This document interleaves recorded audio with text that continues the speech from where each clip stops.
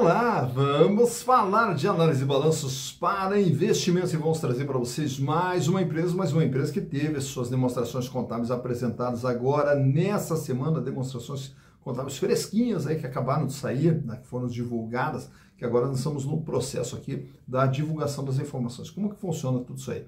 É, as empresas são obrigadas a publicar seus balanços trimestralmente, então sempre no mês de março nós temos o balanço do primeiro trimestre, em junho, segundo trimestre, em setembro, terceiro trimestre e dezembro o fechamento do ano. Naturalmente que algumas empresas elas têm o ano é, fiscal é, diferente, né? balanço encerrando em março, em junho e tal, mas a maioria, quase a grande maioria das ações das empresas, elas têm o seu encerramento do ano no dia 31 de dezembro.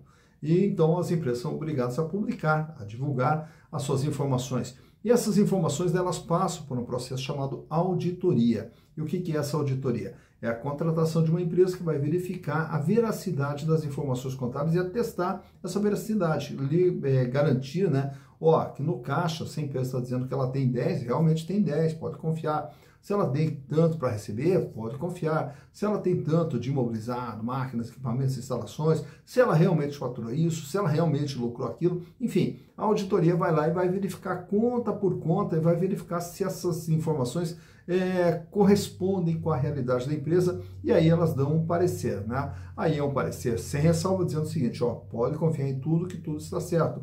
Ou então com ressalva, ó, pode confiar em tudo exceto na conta tal onde encontramos uma irregularidade, alguma distorção e assim por diante. E aí vai ter lá também a, o parecer é, adverso, né, onde a auditoria vai dizer que as informações não correspondem com a realidade, ou então, a abstenção de opinião é quando a, a auditoria não encontra elementos para poder fazer essa verificação. Então, no caso das empresas, elas submetem suas demonstrações contábeis a esse processo de auditoria, e aí a auditoria que vai nos dar uma confiabilidade nas informações apresentadas. A razão pela qual, então, não é no dia 31 de dezembro que fechou o exercício que já em seguida sai o balanço. Não, o balanço ele vai para o encerramento, vai para o fechamento e aí vai para a auditoria. E aí leva um período até a auditoria concluir os seus trabalhos e a empresa ter as informações já disponíveis para apresentar. Razão pela qual, agora que nós estamos tendo toda uma série de balanços sendo apresentados. Então, à medida que os balanços vão saindo e atendendo aqui a solicitação dos nossos inscritos,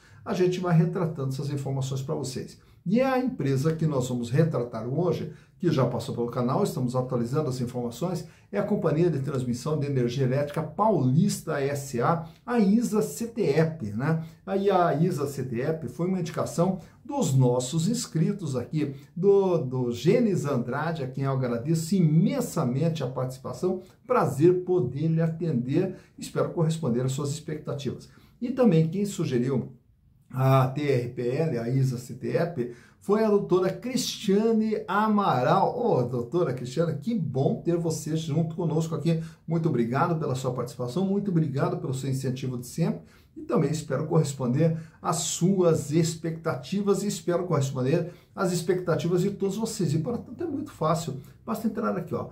Canal Silas Degraf também manda sua sugestão de empresa que queira que a gente analise. Aproveita, faça inscrição, dá o like e venha junto conosco construir e repartir conhecimentos. E falando em repartir conhecimentos, todo esse processo de análise de balanço que é fundamental para quê?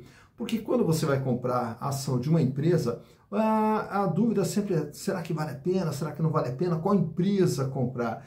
O primeiro passo é sempre, como a gente fala aqui, é a empresa ser lucrativa. Por quê? Por, qual a razão de você comprar ação? A razão de comprar ação é aumentar o seu patrimônio. Mas para aumentar o seu patrimônio, quando você investe numa empresa, se ela não gera lucro, ela não cresce e, consequentemente, seu patrimônio não cresce. Se ela gera prejuízo, seu patrimônio cai também. Então, nós temos que procurar empresas que sejam lucrativas. Essas empresas, à medida que elas são lucrativas, o patrimônio delas vai crescendo e, como você tem parte desse patrimônio, seu patrimônio também vai crescendo. Temos que buscar empresas que não estejam extremamente endividadas, porque o endividamento, além de sufocar a empresa e colocar em risco a sua atividade, O endividamento também ele causa o efeito colateral, que é o aumento da despesa financeira que reduz o lucro e, consequentemente, a, a construção desse patrimônio. E aí nós temos também a situação financeira medida ali pelo capital de giro, que vai nos mostrar se a empresa tem recursos para poder desenvolver sua atividade, gerar receita e, consequentemente, gerar resultados. Então é esse o roteiro básico aqui. Claro que daí nós vamos buscar outras informações também é, para subsidiar o nosso processo de decisões. Caso você queira aprender como que funciona todo esse processo, é muito simples. Nós temos um curso atualizado, acabamos de atualizar um curso de análise de balanço para investimentos que já está disponível na plataforma Hotmart, inclusive no vídeo aqui, eu deixo na descrição o link de acesso ao curso de análise de balanços. Né? E aí, com um valor muito pequeno, de uma forma muito rápida, simples e didática, você vai poder aprender também a fazer todo esse processo de análise de balanços. Caso também precise, entre em contato aqui ó, nesse WhatsApp, que eu também, se for o caso, por aqui eu encaminho o curso para você com o maior prazer. O importante é sempre ter vocês junto conosco. Sobre a Companhia de Transmissão de Energia Elétrica Paulista é só para repassar para você ter uma ideia o que, que é essa empresa, Companhia é, de Transmissão de Energia Elétrica é uma companhia de transmissão. E o que, que é transmissão? O setor de energia, ele é separado, né? Nós temos a parte da geração de energia, a hidráulica, a eólica, a solar e demais, os demais tipos de geração de energia, energia é, térmica, energia de, através de biomassa, etc. É, enfim, nós temos um processo de geração. Aí depois dessa geração, nós temos um processo agora da transmissão dessa energia. Agora ela tem que ser transmitida. Aí ela vai para um processo chamado distribuição, onde ela vai ser distribuída. E aí nós temos também a parte de comercialização, que hoje as empresas de energia já podem também comercializar a sua energia. No caso da Companhia de Transmissão de Energia Elétrica Paulista, ela é uma empresa de transmissão. E para ter essa transmissão, ela tem mais de 21 mil quilômetros de linhas de transmissão espalhadas aí por 18 estados. E ela é uma empresa que começa Lá na época da privatização, quando nós tivemos todo o sistema de privatização da, das empresas de energia, que eram todas públicas, elas foram é, é, separadas em pedaços e foram sendo privatizadas. E essa parte, ela ficou então é, com, com, como a CTEP, né? E aí, na sequência, então, ela começa ali é, separada da CESP, ela é um pedaço da CESP, que em 2006 ela foi privatizada. E aí, ao, ao ser privatizada, na sequência, quem arrematou a empresa foi um, grupo colombiano, o ISA, né? Então o grupo colombiano ISA é que arrematou a CTEP, então por isso que é ISA CTEP. E a partir dali ela começou a comprar diversas concessões e participar de leilões de diversas concessões, ampliando a, a, a sua, a sua expansão. Tanto que ela começa em São Paulo e daí na sequência ela vai para Minas Gerais, vai para o Norte, vai para o Nordeste e vem para a região Sul. Hoje são 18 estados é, onde a ISA-CTEP está presente. Conta também com praticamente 1.600 colaboradores trabalhando dentro da empresa e 30% da energia distribuída no Brasil né, é feita através da ISA-CTEP. Mas para que possamos entender como que está a situação econômica e financeira da empresa, trazemos para vocês aqui toda uma série de balanços desde 2019 até 2023, onde ao longo desse tempo vamos acompanhar tudo o que vem acontecendo com a empresa até o presente momento. Então, para conhecer a Companhia de Transmissão de Energia Elétrica Paulista SA, vamos aos números. Então aqui estamos com as informações contábeis da Companhia de Transmissão de Energia Elétrica Paulista SA, TRPL, a, ou a ISA CTEP. E aí trazemos para você justamente no processo de análise, balanço análise, é um processo de comparação, onde nós vamos comparar com os exercícios anteriores para verificar como que vem sendo o desempenho da empresa até o presente momento. E para fazermos essa comparação, eu trago aqui uma base histórica maior com cinco exercícios onde a gente vai poder acompanhar ano a ano tudo que vem acontecendo com a empresa ao longo desse período. Começando lá pelo ano de 2019, no balanço patrimonial nós temos um grupo aqui chamado ativo, que é quando você buscar o balanço, o primeiro grupo vai ser o ativo, e esse ativo é um conjunto de bens e direitos a tudo aquilo que faz parte do patrimônio da empresa. Lá em 2019, esse patrimônio total é, era de 21 bilhões 599 milhões de reais. Como nas demais empresas de energia elétrica, que são empresas que atuam no sistema de concessão, e o que, que é concessão? Elas participam de leilão é, e conquistam o direito de explorar um serviço por um determinado período de tempo. E esse, é, essa exploração desse serviço, ele é um direito que cabe à empresa de explorar por esse tempo. E esse direito é registrado, no caso da ISA, aqui no ativo realizado a longo prazo como ativos de concessão ou ativos financeiros de concessão.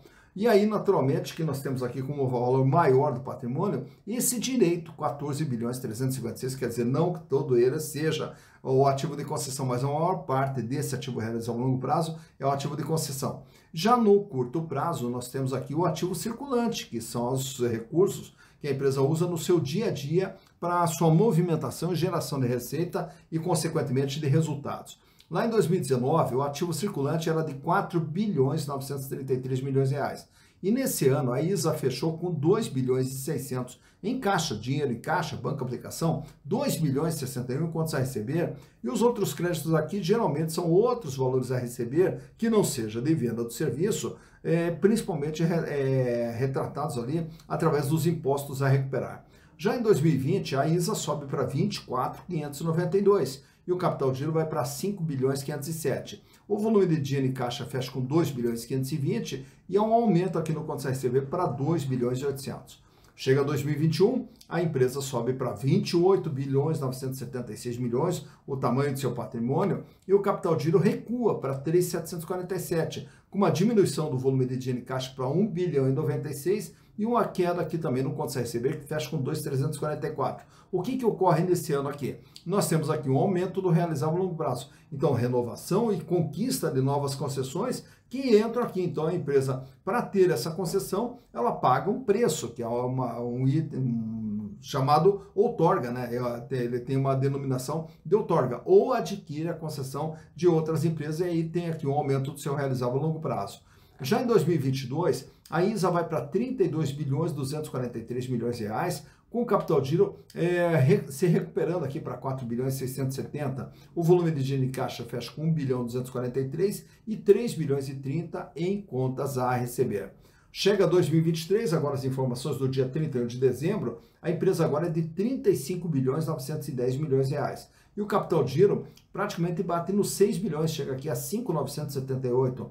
O caixa, 1 bilhão e 700 que a empresa tem de dinheiro no dia 31 de dezembro e 3 bilhões e 300 em contas a receber. E aí repare então que ao olharmos o ativo, vamos ver que é uma empresa que ela vem numa crescente, 21, 24, 28, 32, 35. Ela vem conquistando novas concessões 14, 16, 21, 23, 25. E o capital giro ele vai flutuando aqui 4,900, 5,500. Esse ano cai, mas já se recupera para 4,600, 5,900. Naturalmente que todos esses, esses, recursos aqui, esse crescimento da empresa, precisa de dinheiro. E o dinheiro ele vem de dois, dois caminhos. Capital próprio, patrimônio líquido e capital de terceiros, que é o total do endividamento.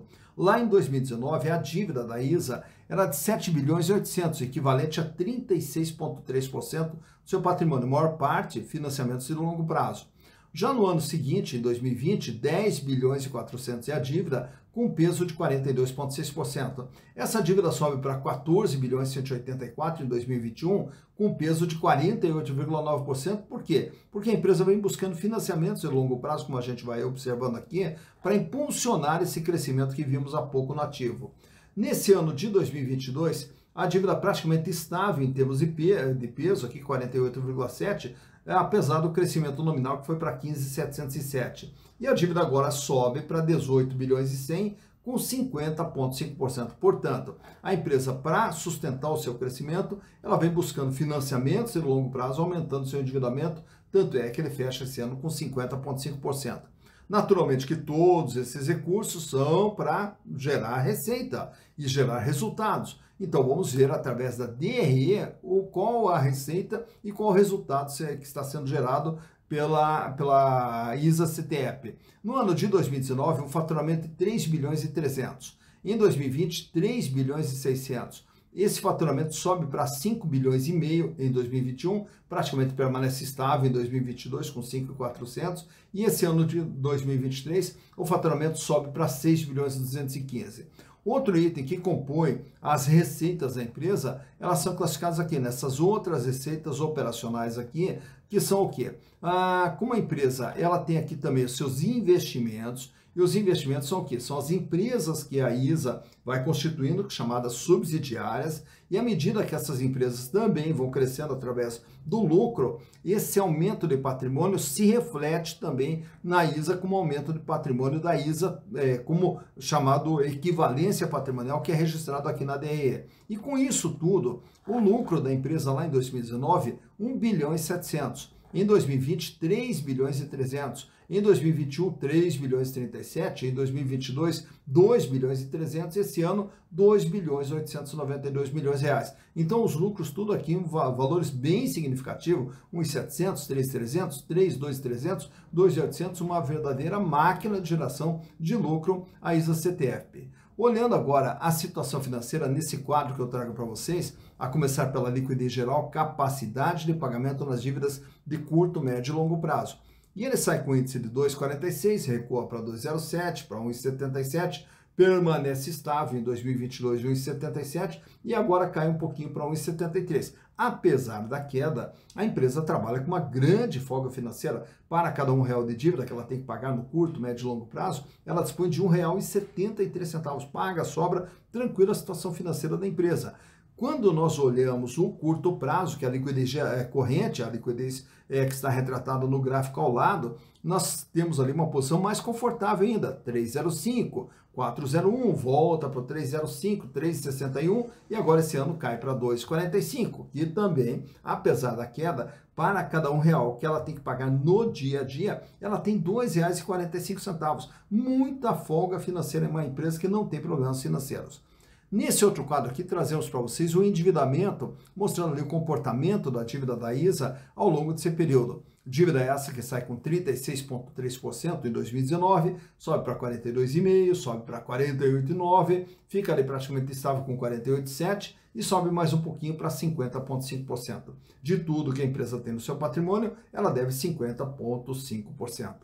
Já nesse outro quadro, temos aqui os indicadores relacionados à rentabilidade a começar pela margem líquida. E o que, que vem a ser a margem líquida? De toda a receita gerada pela empresa, ela tem que pagar os custos, despesas operacionais, resultado financeiro, impostos e sobrava lá em 2019 53,4%. Em 2020, 91,51%. Em 2022, 54,9%.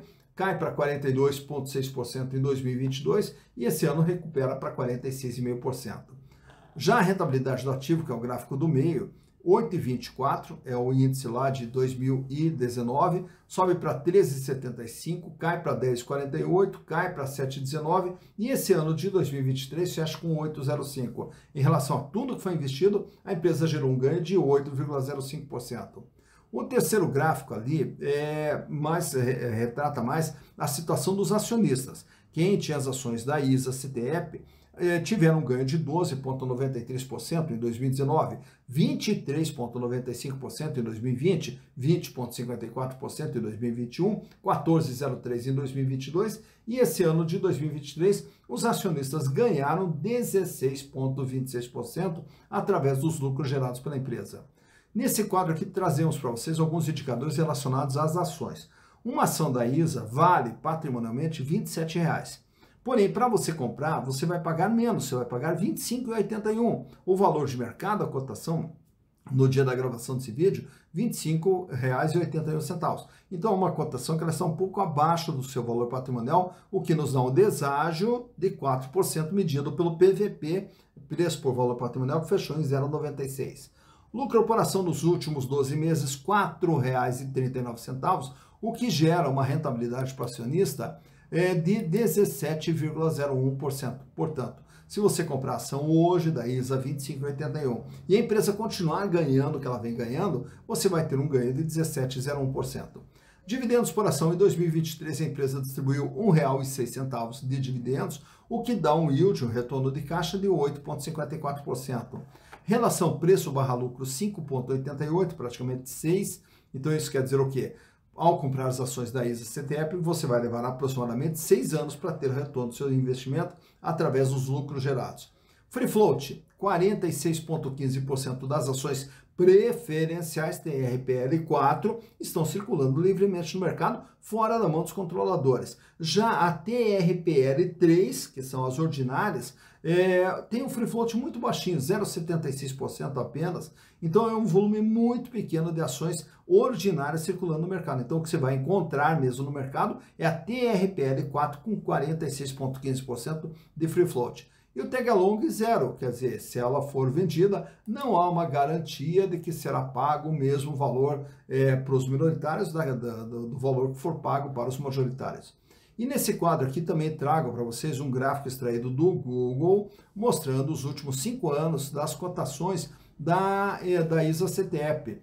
E aí lá em 2019 as ações eram cotadas a R$19,35. E ainda em 2019 ela sobe de patamar, vai até 25,60. Só que não se sustenta e começa todo um processo de queda. E essa queda ela se intensifica é, quando chega a pandemia, lá em março de 2020, quando a ação cai para 18 reais. Só que em seguida ela começa todo um processo de crescimento novamente e entra 2021 na faixa de 27,80 cai e passa a trafegar na faixa de 24 reais durante todo 2021, 2022 e aí em 2022 ela vai ali numa tendência de pequenas quedas até chegar em 2023 com 21,72. A partir dali ela sobe, volta lá para a faixa dos 25 reais, tem ali uma queda no final do ano, mas já se recupera e continua trafegando ali na faixa de 25,80, 26,90. Cotação é essa na data da gravação desse vídeo. Então por aqui você vê quando que as ações tiveram seu maior valor, quando que elas tiveram seu menor valor e como que vem se comportando o valor das ações da ISA CTE PSA. Tá então mais uma empresa analisada. Grande Wanderson Santana lá de São Paulo. Um forte abraço para você. O William também, um grande abraço. Mais uma empresa analisada tá aí, a ISA CTEP ou Companhia de Transmissão de Energia Elétrica Paulista SA.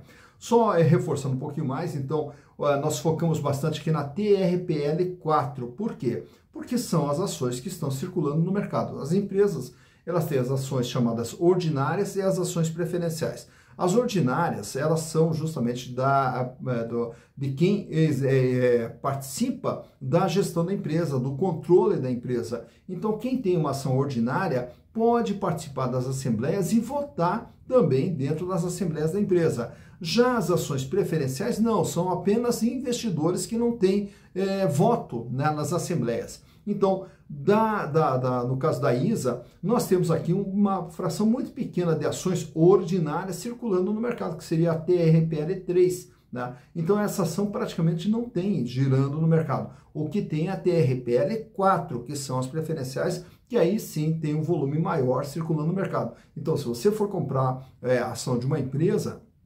é, você vai verificar lá que a empresa que tem um free float muito baixinho, quando você olhar lá a liquidez, que é o giro de ações diária, ele vai ser pequeno. Quando ela tem aqui um free float maior, teoricamente, né? É um free float maior, ela vai ter uma grande quantidade de ações circulando livremente no mercado. Então, é basicamente assim que funciona. Então, nós temos as empresas com free float baixo e tem empresas com free float mais alto. E aí, naturalmente, que depende da categoria da ação, ordinária ou preferencial. Recentemente também me fizeram uma pergunta aqui a respeito dos riscos de um free float baixo. Os riscos que tem é, começa por aí. É, uma empresa que tem um free float muito baixo, ela tem poucas ações circulando no mercado. Então, quer dizer, a liquidez dela é baixa. Se eu quiser comprar, eu vou ter uma certa dificuldade. Se eu quiser vender, também vou ter uma certa dificuldade. Outro é, detalhe negativo de um free float baixo é que quando a empresa é muito concentrada, né, então nós temos lá 90 e poucos por cento das ações na mão de alguém e apenas 7, 6, 5% girando no mercado. Então, a, a, gestão da empresa ela é concentrada. Então, os minoritários têm pouca é, poder né, é, de, de, interferência nos rumos da empresa. Então, praticamente você não tem, os minoritários não têm uma força sobre essa empresa. E o terceiro ponto, que é extremamente perigoso também, é quando a empresa ela tem um free float muito baixinho, quer dizer, são poucas ações circulando no mercado. Ela pode fechar seu capital a qualquer momento, porque são poucas ações que terão que ser compradas para um fechamento de capital. Quando você tem um free float muito alto, é, quem quiser fechar o capital tem que comprar muita, mas muitas ações Então, é muito mais difícil uma empresa com free float alto é, ser, é, ter o seu capital fechado. Então, por isso que nós temos essa questão e também destacamos sempre aqui a questão do free float das empresas. O importante é isso aí, é com toda essa base de informação, de conhecimento, você poder sempre tomar decisões de forma consciente, reduzindo riscos e ampliando possibilidades de retorno. Por quê? Ao comprar ações, estamos construindo patrimônio e nós queremos que o seu patrimônio cresça cada vez mais. Esse patrimônio, ao crescer cada vez mais, lá na frente vai lhe proporcionar uma vida cada vez melhor e uma vida cada vez mais digna, que é o que todos nós merecemos. Dito isso, bons investimentos para vocês.